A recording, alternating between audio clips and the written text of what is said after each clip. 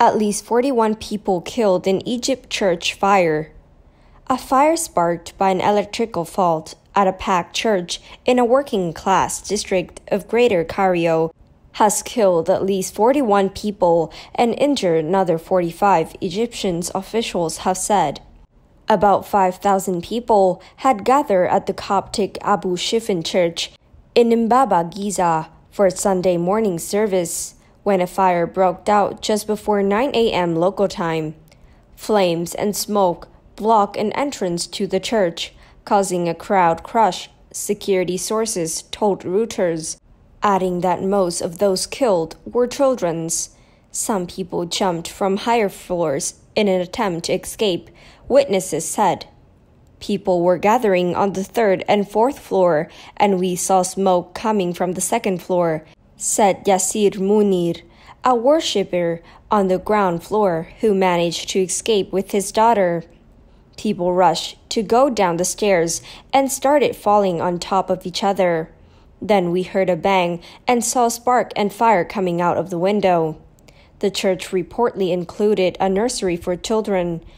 Witnesses describe how people rushed into the burning building to rescue those trapped it but were soon overwhelmed by the heat and smoke. Ameya Reda Banmumi, who lived next to the church, told Agence France-Presse. Everyone was carrying kids out of the building, but the fire was getting bigger, and you could only go in once or you would asphyxiate.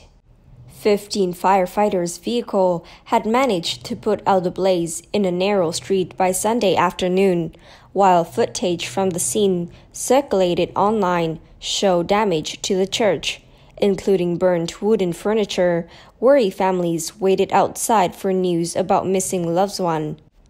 Egypt authoritarian president Abdel Fattah al-Sisi said in a tweet, I offer my sincere condolences to the families of the innocent victims that have passed on to be with their Lord in one of his houses of worship.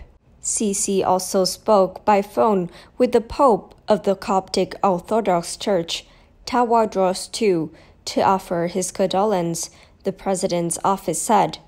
Sheikh Ahmed Al Tayyab, the Grand Imam of Cairo's influential Al-Azhar Mosque, also offered his condolences.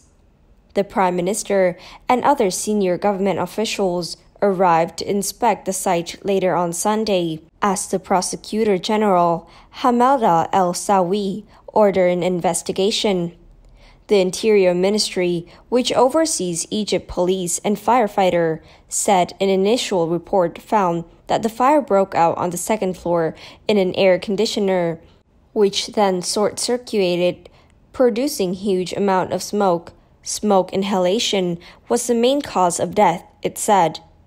Egypt Christian account for about 10% of the country's more than 103 million people and have long complained of the discrimination by the nation Muslim majority. Sunday Blaze was one of the worst fire tragedy in recent years in Egypt, where safety standard and fire regulations are poorly enforced. In March last year, a fire at garment factory near Cairo killed at least 20 people and injured 24 more. That's it for today. Thank you and goodbye.